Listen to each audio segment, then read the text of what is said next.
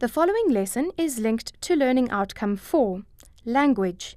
It addresses the assessment standard that requires learners to use structurally sound sentences in a meaningful and functional manner. Learners should be able to use a range of figurative language such as idiom, idiomatic expressions, and proverbs with developing appropriateness. This lesson also addresses Learning Outcome 2 Reading and Viewing. It addresses the assessment standard that requires learners to explore and explain key features of texts and how they contribute to meaning. Learners should also be able to recognize how word choices, imagery, and sound devices affect mood, meaning, and theme.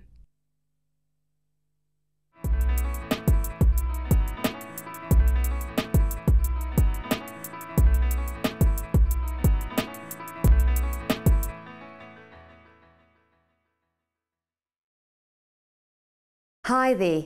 In our previous lessons, we learnt about figures of speech that involve comparisons, and you should be able to identify similes, metaphors, and personification. In this lesson, we will look at how the sound of words enhances language. Now, I'm sure that you have seen words like these before. Zoom, kapow, splat, kiss, buzz, sploosh, and clatter. What do these words have in common? All of these words have interesting sounds. When you say them out loud, they actually sound like what they are meant to represent. These are the types of words that we will focus on today. So, in today's lesson, we are going to look at figures of speech that involve sound devices. But what is a sound device? Sound devices are words which appeal to our sense of sound.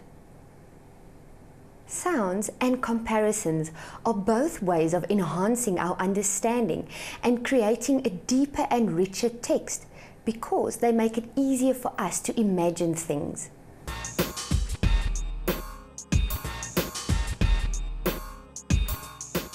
By the end of this lesson, you should be able to understand and identify alliteration, assonance, and onomatopoeia. From our previous lessons, you will know that it is important to use the correct terms. Now, I know these terms sound confusing and difficult to you right now, but you will soon be comfortable and use them quite easily. Now, let's look at our first sound device for today alliteration. Alliteration is the repetition of consonant sounds at the beginning of words. In order to understand this definition, we need to check that we know what we mean by consonant sounds. A consonant is any letter of the alphabet which is not a vowel. In our definition of alliteration, don't overlook the bit about consonant sounds. This is an important part of the definition because alliteration is a figure of speech which deals with the sound of words. To consolidate the idea of alliteration, I think we should look at a few examples. Remember, we are looking for consonant sounds that are repeated at the beginning of words that are closely connected. Once we have identified them, we need to decide whether they were used effectively. Often, alliteration is used to emphasize the expression of movement. Slowly, slyly, the snake slid stealthily towards its prey. The easiest way to identify alliteration is by saying the words out loud. Now, you cannot always do this, so it's important that you can imagine what the words sound like. Now, remember, we are dealing with sound and not the spelling. Let's look at our example again. Slowly, slyly, the snake slid stealthily towards its prey. This is an obvious example of alliteration, and you can see that the S sound has been repeated at the beginning of most of the words in this sentence. Why do you think the S sound is repeated in this sentence? Is it a harsh or a soft sound? Now let's look at the sentence again. What idea did the author try to convey? The meaning of the sentence is that the snake is secretly approaching its prey it is rather menacing and dangerous. A soft S sound has been employed to enhance the atmosphere of tension and fear. The softness of the sound suggests that this is a quiet movement by the snake, and his victim has no idea of the approaching danger. Are you getting an idea of how sound devices are used in figurative language? I think we should look at another example of alliteration. This is an extract from the poem Preludes by T.S. Eliot. The showers beat on broken blinds and chimney pots. First of all, can you pick out the alliteration in these lines? You need to find a consonant sound which has been repeated in the words which are close to each other, and then decide whether the use of the figure of speech was effective. I'm sure that you were able to identify the B sound as being repeated. Now let's look at the meaning within the context of the lines. The repetition of the B sound emphasizes the words beat, broken, and blinds. This sets an ominous tone. The explosive B also suggests the sound made by falling rain.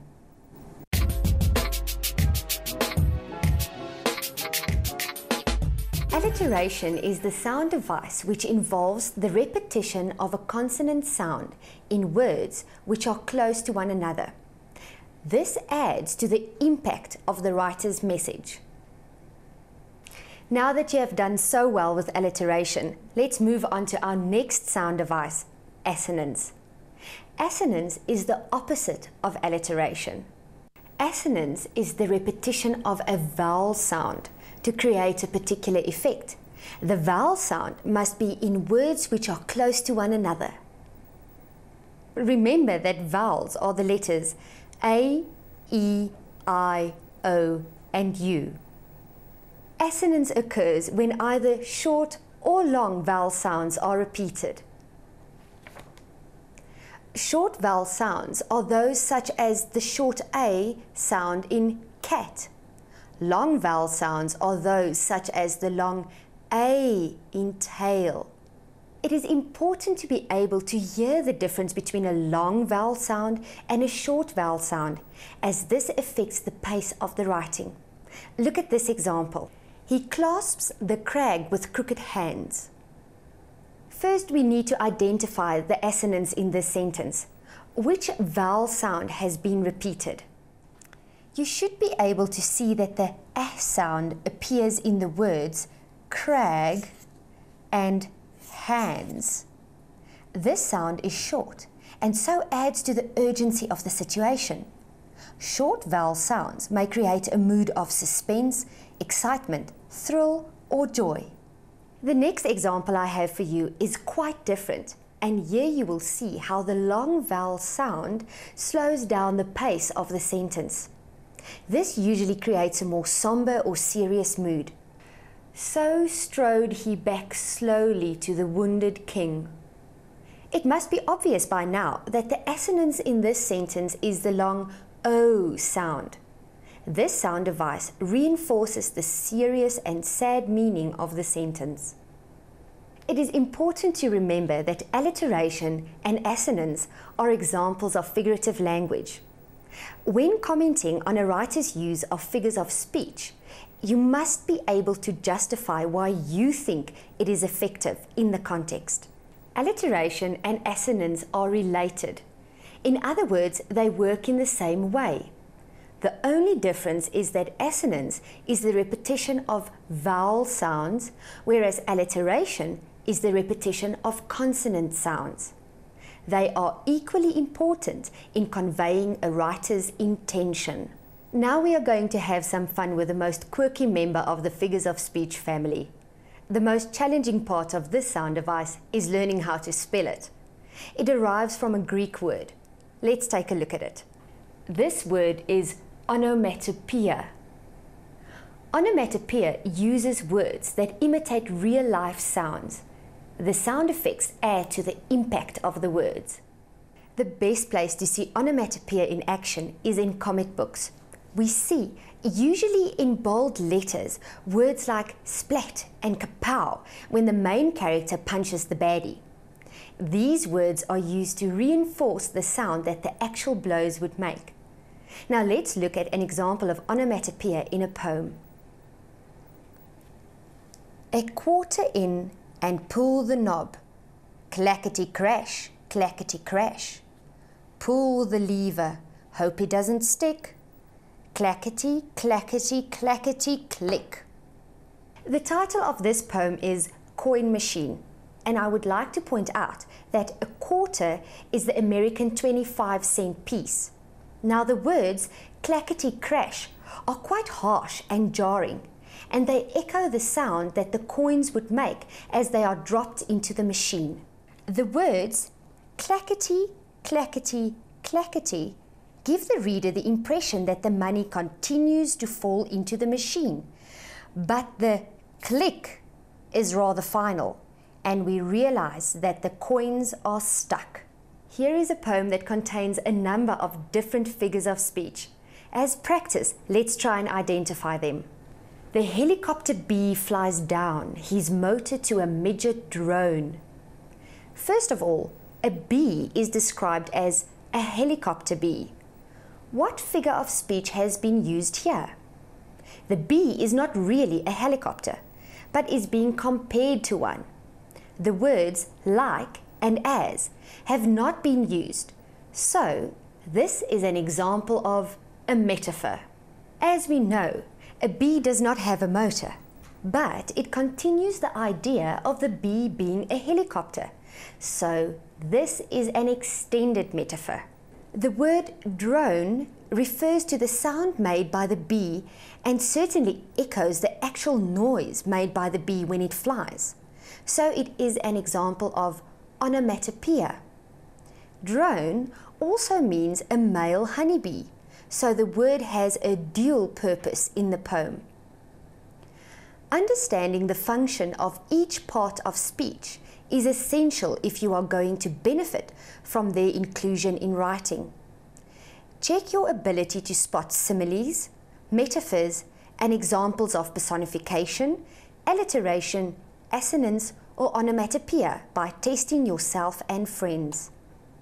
As with all aspects of English, learning off by heart will not help you to be able to apply your skills in various situations.